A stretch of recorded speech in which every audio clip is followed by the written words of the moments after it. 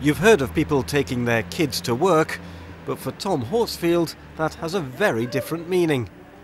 His little pygmy goat loves him so much after he was rejected by his mum, so wherever Tom goes, little Benji is not far behind. His mother uh, gave birth to twins, but unfortunately she couldn't rear two of them, so we had to take one on board, and I'm hand rearing him in my home.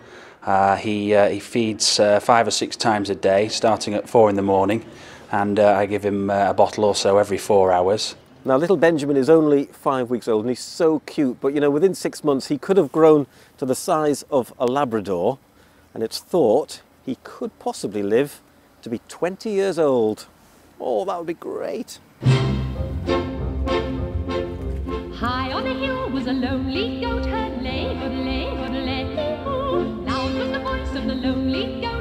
When this lonely goat heard there were some young visitors who wanted to meet him, he got very excited.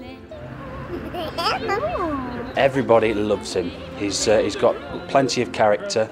He's a bit of a show off. Uh, he likes nibbling people's shoelaces. Um, he nibbles at uh, all sorts really, um, but the customers, they love him here. He's got a real pleasant character.